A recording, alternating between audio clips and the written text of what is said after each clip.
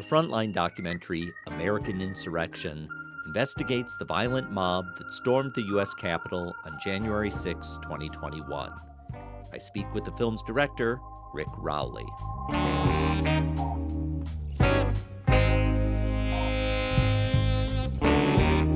I'm Thom Powers, and this is Pure Nonfiction. For over 20 years, Rick Rowley has been covering stories of war, protest, and criminal justice. He was Oscar nominated with co director Jeremy Scahill for Dirty Wars, that examines how the United States war on terror caused its enemies to multiply. For several years, Rick has been covering the evolution of America's right wing militias for the PBS series Frontline.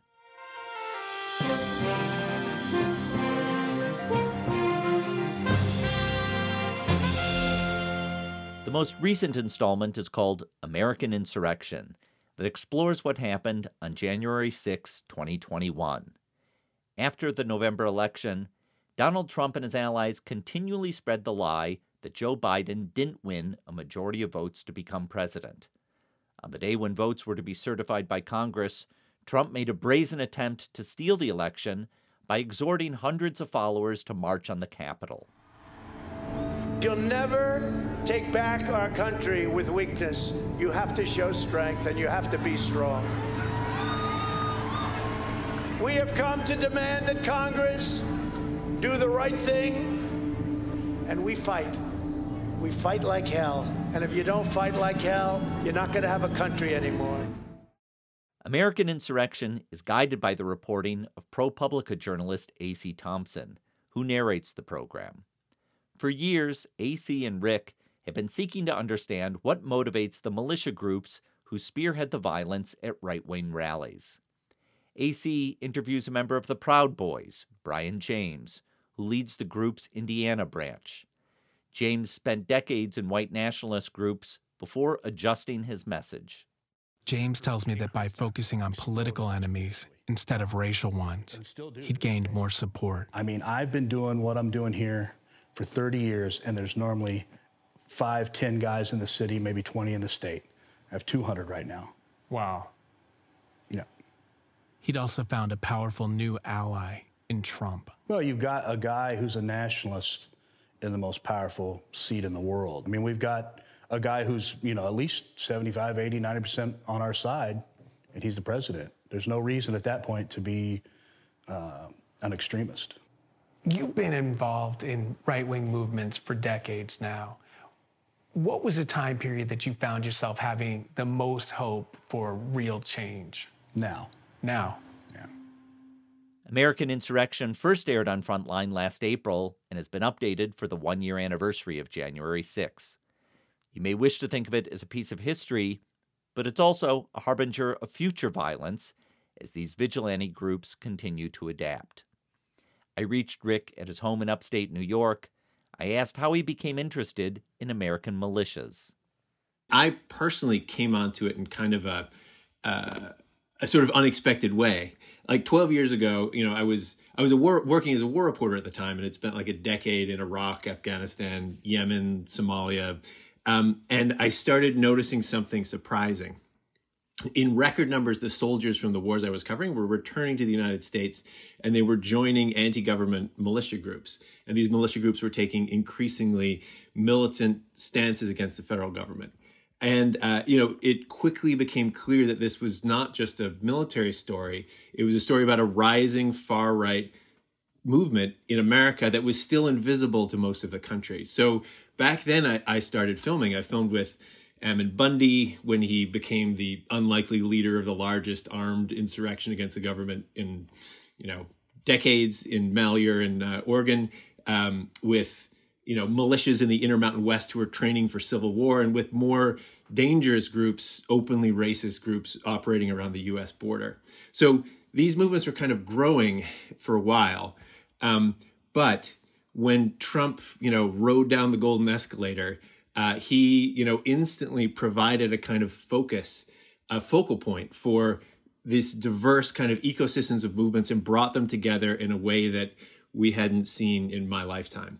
And so at that point, um, uh, you know, before Trump's election, I, that was when I sort of first teamed up with AC because we knew that something, some terrible things were coming. So we were with film team in Charlottesville when Charlottesville happened because, you know, before it went down, it was unclear what this whole thing, if it was going to be anything at all. Um, uh, but it proved to be just this inflection point in uh, in the for the far right in the United States. And so, American Insurrection, the film, is kind of is the story of the rise of far right violence in this era and um, Charlottesville and January 6th are inflection points where the movement kind of changes and it reaches a crossroads where it begins to change and transform into into something else. So yeah, so we were we were already filming then. Um, we did, uh, and we did a series of front lines along the way. We did two front lines, uh, you know, after Charlottesville, and then another that unmasked this um,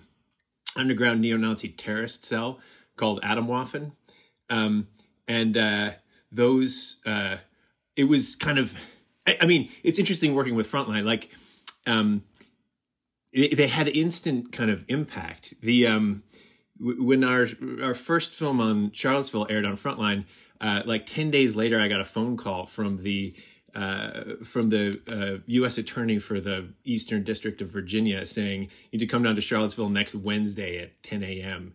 Um, and in court, they uh, they announced that they had arrested in you know seven different states. They'd arrested all of the people who were members of this underground group that we've been tracking, um, and they like called out AC's reporting from the from the podium, which I'd never kind of seen before. Um, uh, the same thing happened after our you know piece on Atomwaffen. The whole group was kind of wrapped up, and um, so it, it was been amazing to see like reporting in real time like this and having a films come out really that that you you see the instant kind of impact in the world around as they as they hit. So take me back to a year ago in the lead up to January 6th, having followed this for several years, what was your team planning for on that on that day? Yeah, well we uh we expected uh in, you know, sometime after the election for there to be a conflagration of violence of some kind. I mean, there was a whole uh, series of rallies in Washington, D.C. that culminated in January 6th. And, you know, no one, I mean, we didn't know which one of those it was going to be, when the match was going to be lit. Um, but it was clear that over, over that year, uh, there was this crescendo in kind of organizing. Because one of the, one of the things that is was fascinating to see is the way that you know it's easy to think about the far right or white supremacist groups as kind of monoliths as groups that like they don't change they're always there with their swastika armbands or whatever but there are social movements that are constantly adapting and changing and masking themselves and you know um, which is important to understand so that you don't uh, you know, so that you can know where the where the next threat is kind of coming. So immediately after Charlottesville, Charlottesville was in one on the one hand look, looked like a victory for white supremacist groups, right? I mean, they were out in the street in larger numbers than we'd ever seen. But the backlash was real and it was effective. Um, you know, the uh, activist groups mobilized in the streets and denied them. You know, they, they couldn't ever rally again because there were counter protesters that made that impossible. Uh, there were uh, civil lawsuits brought against all of the kind of major groups. They were hounded online and in the street. So all of the big public white supremacist groups uh, splintered, broke up, changed their names. Some of them went underground and became more militant. Many of them uh, took off their, you know, swastika armbands, wrapped themselves in the American flag, and joined groups like the Proud Boys, um, who claimed, you know, distanced themselves from race, from explicitly racist politics, and called themselves kind of civic nationalists or whatever. So that was that was so the movement. You know, those groups is evaded, went under the radar, right? Because they didn't look like what they didn't look like the Klan. They didn't look like you know skinheads. Um, so those groups in the beginning of uh, of uh, 2020, they began to um, began to emerge in the streets again. Uh, well, emerge in the streets and become increasingly kind of visible and violent. So we expected uh, as the election, you know.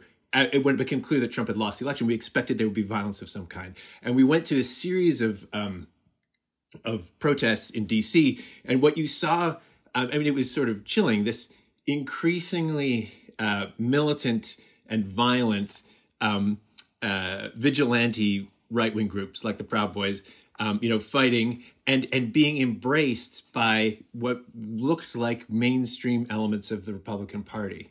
So a, a movement of these radical ideologies from the fringes more and more into the mainstream until on January 6th, uh, it was, you know, the line disappeared entirely, right? I mean, you saw um, people who were not affiliated with any. I mean, the majority. You look at the list of arrests, the hundreds and hundreds of people arrested. There's a handful of Proud Boys, some Oath Keepers, some Three Percenters, members, a few members of groups we've been we've been tracking forever. The majority unaffiliated people who are just mem- you know pro-Trump Republicans who so people who have embraced a kind of insurrectionary violence that would have been unimaginable in American politics just a little while ago, um, being catalyzed and pushed by these more extreme groups into this kind of moment. So that was the that was the terrifying thing that January 6th sort of ushered into existence was um, was kind of the mainstreaming of this sort of political violence.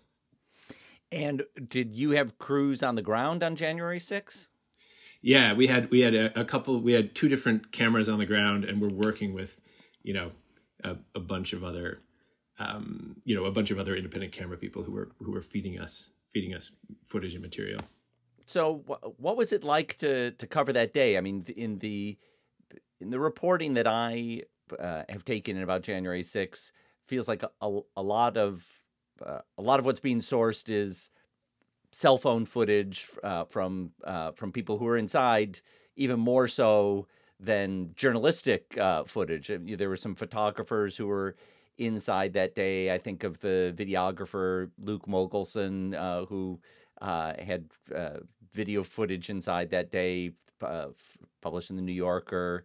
Um, but you know, for for your crews, you know, what was it like trying to cover that?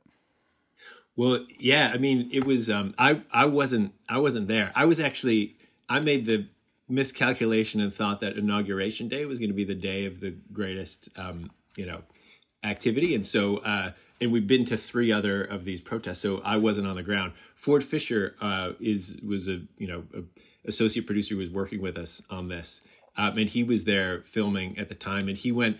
Um, uh, he's one of the he has basically spent the last five years kind of embedding himself inside of these movements and filming with them in the street. Like every time there's a protest, he's there live streaming it. So he's become a fixture of these moments. And so um, people recognize him and he operates with a little bit more kind of safety than than many people do. But it was not, I mean, the reason why it's cell phone footage and a few still photographers is because it wasn't possible or safe for most uh, camera people to go inside. I mean, you, everyone has seen probably those images of the, the the little you know area where all the cameras are set up for the for the live shots that cable news does all the time. They you know equipment was trashed, nooses were hung up, murder the media was spray painted on the door. Uh, you know, uh, there's a photographer who uh, the crowd turned on and was roughed up and like pushed out. It was um, uh, it was a very antagonistic kind of place to film. We'd experienced sort of small, like um, less intense versions of that in the uh, in the other Stop the Steal rallies or the Million MAGA marches that had happened in DC before then, where um, you know, as especially as day turned to night and the crowd became more uh, more aggressive, um, you know, they always uh, you know turn would turn on the cameras and and uh, and you know accuse us of being either federal agents or you know uh, mendacious members of the uh, of the of the fake news. Um, so it was uh, it's a yeah it's a it's a difficult beat to cover now, and that day in particular was one in which um, it was not uh, it was not safe for for many camera people to go inside. So, in the course of uh, this reporting, your team uh, interviewed Brian James from the Proud Boys, Mike Dunn from the Boogaloo Boys, but you did a uh, interview in uh, in jail uh, via video uh, hookup with Brian Croft, one of the people charged in trying to kidnap uh, Michigan's governor. Um, what did you learn from you know sitting down with, with with people on the far right? Yeah, I mean, each each of those each of those people are fascinating and have their own sort of parts of the story to tell. I think maybe one of the most telling characters in that kind of gallery is uh, is Brian James, who um, uh, he's a, the the head of the Indiana Proud Boys. Um, uh, so he was uh, you know spent his life inside the far right and the racist right. Um, you know he was uh, ran away from home at the age of fourteen, was a racist skinhead, joined the militia movement, uh, met Tim McVeigh um, when he was a part of the uh, when when Brian James was part of the Indiana militia movement and was so close to the center of it that he uh, got a warning over the ham radio a week before Oklahoma City happened, telling him, uh, you know, something's going to happen. It's time to sort of go underground. After that, the militia movement was sort of discredited, or it was difficult to organize as a militia member. So he joined the Klan for a while. Then he became a part of the outlaw Hammerskins, one of the most violent, murderous uh, skinhead gangs in the country split off from that and started an even more violent faction. Anyway, he spent his life organizing in the most extreme elements of this movement. And he said when Donald Trump's campaign began, he realized that um, uh, he said there was no point in being uh, an extremist anymore because you can get 80% of what you want by uh, by working inside the bounds of, of the system as it is currently kind of constructed. So he uh, he stopped he he quit his uh, skinhead gang and started an organization called the American Guard, which he says is organized around the same principles. It's just calls itself a civic nationalist group instead of a white nationalist group. Um, and the Proud Boys were being started up at around the same time. And after Charlottesville, he joined the Proud Boys. Um, and rose to leadership inside them. And he says he has never there. There's never been a moment in his life where he has been more optimistic about the possibility of victories for the racist right than he is now. Um, that he ordinarily in Indiana has, you know, 10 guys in Indianapolis, uh, 20 guys in the state. Now he has 200 and he has a national platform.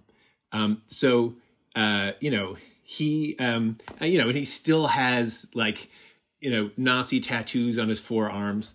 Um, I mean, he's doesn't, you know, uh, doesn't disavow the kind of violence that he participated in back in the day. Um, he just thinks it's tactically smart to sublimate your racist politics and uh, um, and talk about things in in other terms. And um, and you know, and is willing to be a leader in a movement. You know, the Proud Boys is led by was led by Enrique Tarrio, a, a Cuban American, a, a, black man. Um, and he says, you know, that's that is not a political contradiction for Brian James. He's like the, his purpose is systemic. His goals are systemic, not kind of individual and small. So anyway, that looking at him and his evolution is a sort of a fascinating kind of window into how one element inside this movement has uh, has transformed. But there are there are others. I mean, it's a very heterogeneous kind of movement. The the militia elements inside of it are are their own kind of story and their own puzzle. Like Barry Croft and Mike Dunn represent that sort of a libertarian sort of wing where a lot of you know these militias this this new wave of the militia movement it really um, sprang up during the Iraq War and the war in Afghanistan, and they um, you know are organized primarily around a libertarian politics that is uh, feels like the military has been um, I mean is is anti-war in a way, right? Feels like these imperial kind of you know battles in the Middle East are are you know wasting our soldiers overseas when we should be focused here. I mean, it's it's a complicated and, and sort of fascinating kind of um, uh, ecology of sort of social movements that at different times kind of come together, and you know this Trumpian era kind of brought them all together in, a, in an explosive in an explosive way. So you described how Charlottesville was disruptive for a lot of these organizations. Members went to jail or were lost jobs because they uh, were uh, seen in footage or uh, ostracized in different ways. Um, what did January 6 do uh, to uh, to these movements? I mean, now their uh, ostensible leader Donald Trump is out of power. A, a lot of arrests have been made. Um, there's continuing investigations. So, what has that meant to those groups? Initially, there was a backlash to January 6th, much like the backlash to Charlottesville, except much faster and much more aggressive. I mean, it took months and months for the FBI to begin investigations into what happened in Charlottesville. Within a week, they had hundreds of people arrested after January 6th. Um, and the impact on on all of the above ground groups was also swift and dramatic. I mean, the Proud Boys were um, there were lots of Proud Boy arrests. The Proud Boys splintered.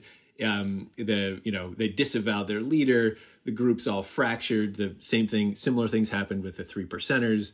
Um, uh, you know the organ most organized and visible movements there, groups there, um, were you know uh, were were severely damaged, and there was like there were there were a few weeks where the broader political kind of movement on the right that had given them kind of cover and space and embraced them um, shied away from them. But very very quickly, um, they have come back. Um, I mean the um, uh, the so the the I mean, but they've come back in a different way. Um, the Proud Boys now uh, are organizing locally and not nationally. So while the national networks have been kind of decapitated. Uh, the um, uh, the groups on the ground are kind of reconstituting themselves and reemerging, and that's what you're seeing now at local school board meetings around the country, where armed armed militias and Proud Boys are showing up to protest against critical race theory being taught in, in schools, or at you know um, at county health board meetings.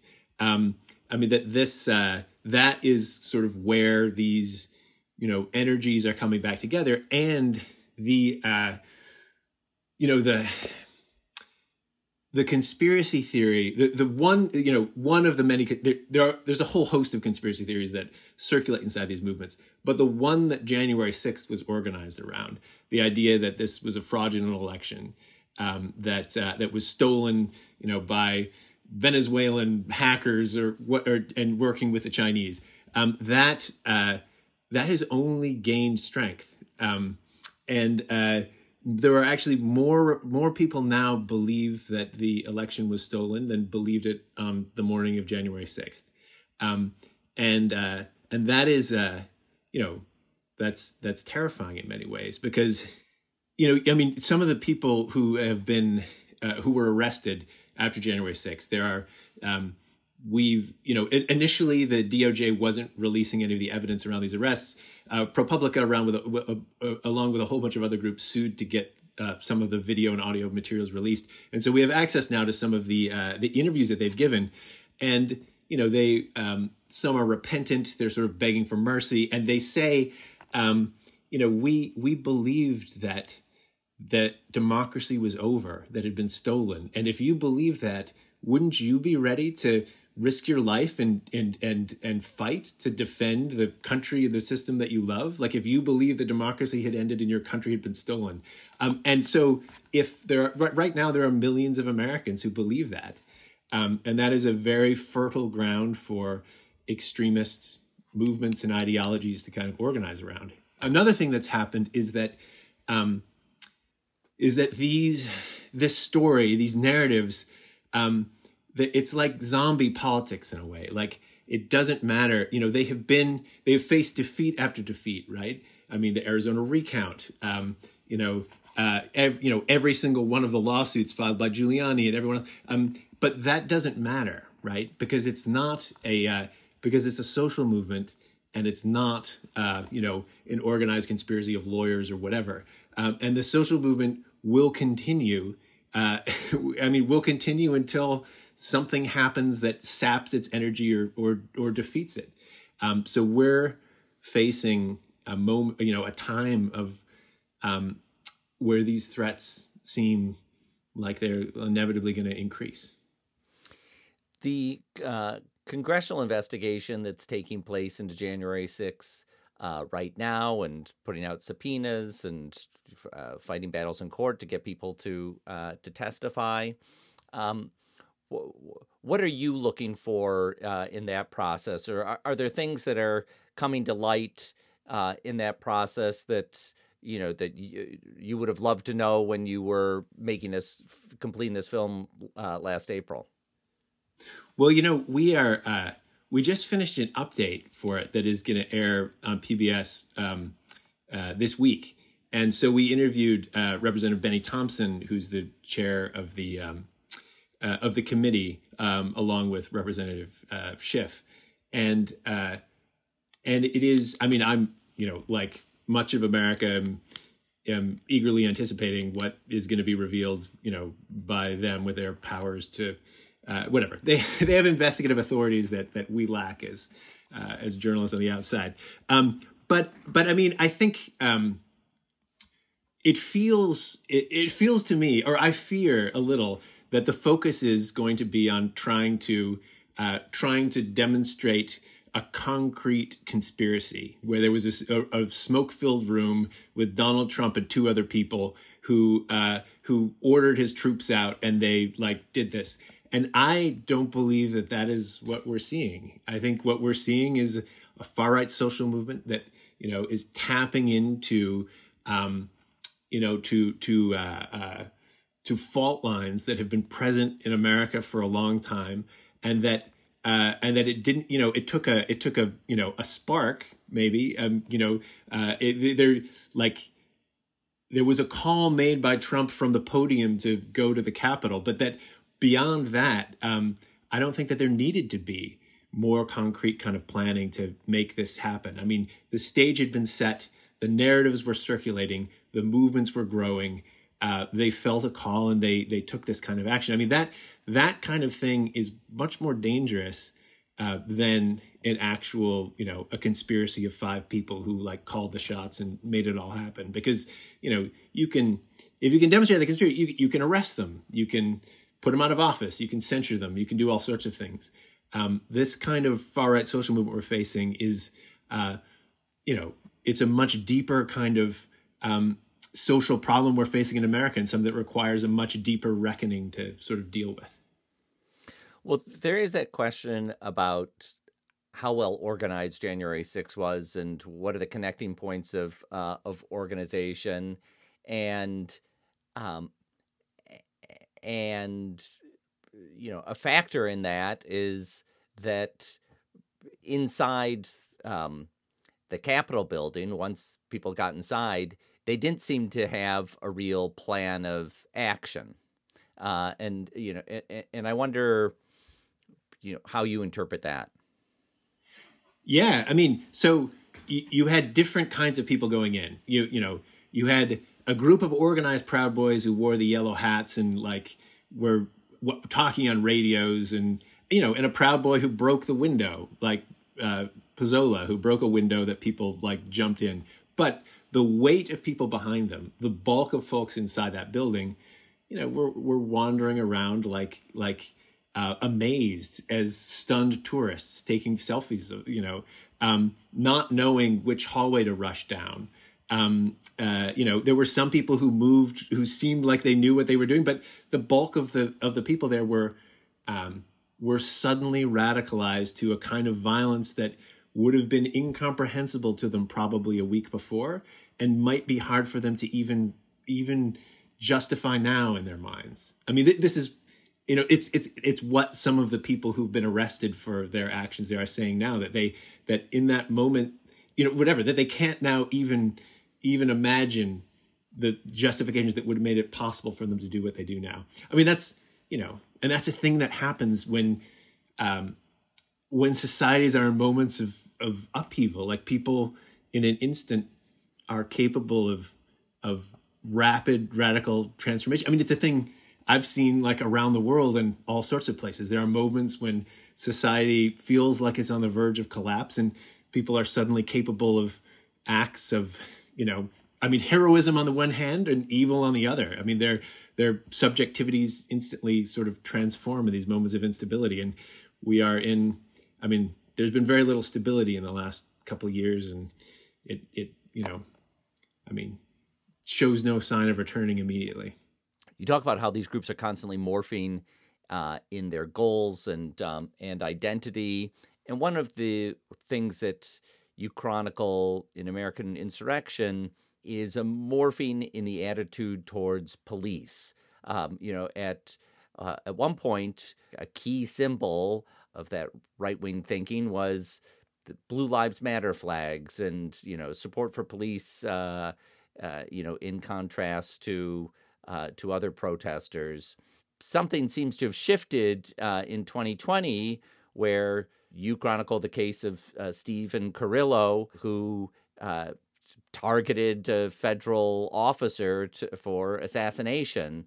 Um, and and then, of course, in the case of January 6th, um, you, you, see a lot of violence against uh, uh, Capitol Police. Um, what what do you make of that shift? Yeah, that's so. There has always in the far right and the white supremacist movement been two a tension between two different contradictory kind of impulses. Right? There's um, vigilantes, like going back to the days of the Klan. Right? You have elements that are vigilantes that see themselves as we are going to defend the social order and do the things that the police are prevented from doing. Where they see themselves as a uh, an auxiliary arm to the police or whatever, and we're to you know enforce enforce the social order. Then, especially after the Vietnam War, in the on the right, you see a rise of insurrectionary violence. Right, um, you know Tim McVeigh. Uh, is you know the most obvious incarnation of that, but like that's what the skinheads are. That's what white Aryan resistance is. Uh, the modern neo Nazis, like all those groups, they're not on the side of the police. They they think the whole society is rotten and anti-white and we need to blow the whole thing up and start over. So those um, uh, and that was the dominant kind of ideology in the extremely far right for from the vietnam war up until relatively recently. So under trump what you saw w- w- was the emergence and sort of dominance inside the far right of uh, the vigilante side of the far right for you know the first time in like a while, um, and so that's um, groups like the Proud Boys who uh, are the uh, the Proud Boys are the most clear kind of incarnation of all this. They go out to defend the police and to fight against anti-police protesters, and they posture themselves as defenders of like the social order, and that uh, so over the in over the course of November and December after the elections in Washington D.C. in the three protests that happened there, you saw them transform. With Trump out of power, they went, uh, you know, uh, over the course of three nights, moved from being, um, you know, we would see them at the beginning being incredibly deferential to the police. So they're, you know, trying to fight with Antifa, you know, people who are there, um, ripping down black. Whenever a police line shows up, they'll back off and say, "Back the blue." You know, that's not us. We, you know, we're here. We support you. You know, um, by you know the second night, um, they start pushing the police and fighting with the police. And by the time uh, January 6th comes around, you know, they're burning Blue Lives Matter flags and going out and and beating. Uh, um, police into comas with fire extinguishers and crushing them in uh, uh, in revolving doors and in you know I mean openly fighting uh, police in a in a in, in an aggressive way in the street that I've I've never seen before. Do you think that has uh, you know meaning for the future, or do you think that yeah. was specific to that uh, incident? No, no that that is. I mean, I think that that is the future, right? That that is um, with Trump out of power now. Um, that those uh, it has clarified and reunited that sort of element of the far right. That um, uh, I mean, you you see sometimes strange sort of contradictions, like in the militia movement, which is very anti-federal government. You will sometimes see them rallying around a local sheriff, like you know, and seeing like local law enforcement is somehow you know uh, the sovereign kind of realm of the citizen, whereas the federal law enforcement isn't. So th- that sort of stuff may still exist somewhere, but the um, uh, groups like the Proud Boys are now firmly in the insurrectionist, like anti-government camp. You started this conversation by saying that what drew you into this world was following U.S. military veterans as uh, they came back from wars abroad and found their way into these uh, right wing groups in the U.S. And in your film, An American Insurrection, uh, you interview uh, Congressman Keith Ellison, who uh, talks about a, a need to identify extremists in the U.S. military and and root them out because essentially the U.S. military is uh, giving top level training to people who are turning around and attacking the U.S. Capitol. What is what's been the aftermath of uh, of that of of focusing on um, extremist members of the U.S. military or uh, local law enforcement? Yeah. So this is uh, just I, I want to give just a little bit of context to this whole thing. So the um, uh, there has there has always been a strong correlation with uh, America's foreign wars and rise and, and a rise in domestic white supremacist activity. In fact, the one thing that correlates better than better than any other social factor with a rise in white supremacist violence from you know from the second wave Klan up to Tim McVeigh is uh, is soldiers returning from a foreign war. Um, better you know better than economic downturn, better than antagonism against immigrants, better than anything. Uh, and the leaders of far right groups, from George Lincoln Rockwell and the Nazi Party to Tim McVeigh, Tom Metzger, Louis Beam, everyone in between, you know, uh, dominated by by veterans, and you know, in in the insurrectionists in uh, the Capitol, the rioters in the Capitol, uh, you know, there were uh, like there were a handful of Proud Boys, there were some Oath Keepers, but the group if you were going to find a group uh, that was really overrepresented there, were, were, were veterans in that you know group as well. So immediately after January 6th, the military uh, acknowledged that they had a problem with with extremism in their ranks, and they you know had a stand down, did, did a whole bunch of historic uh, you know measures that they hoped would kind of combat extremism in the ranks, and you know it remains to be seen what uh, what the impact of those will be um, but um, it is. Uh, uh, you, you, know, know when but, you when you when you describe that to me, it makes me think of uh, you know young people who are recruited to war, train for war, go through the the that intense experience, and then come back and are looking for some to channel that intensity into into something else. I mean, there are there are a lot of different kind of social theories uh, about why there is this correlation. One of them is one of them is what you're saying, like um, this idea of being you're you're incredibly mission focused overseas. You have a your goal. You're defending the country. You come back home and there's no place for you. Your skills don't really translate into anything that makes you employable in the market here. You've lost focus. No one cares about you, and you are looking for another mission that that is um, you know that makes you gives you the kind of importance and meaning that you had when you were in combat like that's that's one thing um, another thing that is you know commonly voiced by veterans who i've spoken to who are parts of these militias in different parts of the country is uh, a feeling of betrayal that um, you know especially in iraq um, you know i mean everyone uh, you know a, a few years into that war everyone knew that it was a lie and that it was um, that they were risking their lives for for a lie and that they were the the the government they were defending was hated by the people who they were with and they were they had become the bad guys. Um, and so that kind of returning from that sort of feeling of betrayal engenders all sorts of you know animosity against the government um, other things uh, that you know people look at are the way that uh, in some cases, the populations who you're uh, being sent to fight against ha- are dehumanized, right? Um, they're, you know, uh, soldiers are sometimes use slurs to speak about the Iraqis or the Afghans, who, you know, and that there's a, a mindset that is built in that um, that finds that resonates with uh, racist or far right kind of you know language and they come back there's also you know the demographics from which soldiers come i mean there's a whole host of factors um, you know that that people are you know look at when they talk about how this uh, how this happens. I mean, the one thing we know is that it does, right? Um, and uh, um, and it's uh, I mean, it's my hope actually that with the drawdowns in Iraq and Afghanistan, that some of the some of the deep kind of sub um, subterranean energies that were driving this kind of movement maybe that maybe some of that will be sapped in the years ahead. I mean we'll we'll kind of have to see. You no longer will have hundreds of thousands of of young americans cycling through these war zones and perhaps that will you know over time um, turn the kind of temperature down on some of these movements i mean we we can hope that that that may happen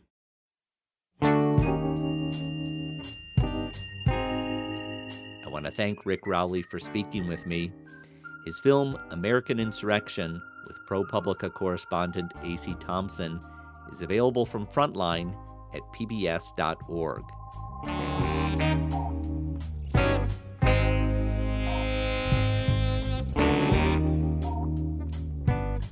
Thanks to our team series producer Hannah Norden Swan, and web designer Cross Strategy.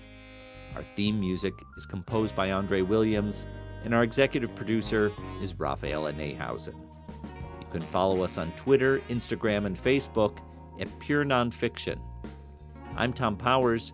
You can follow me on Twitter at THOM Powers. You can read our show notes and sign up for our newsletter at purenonfiction.net.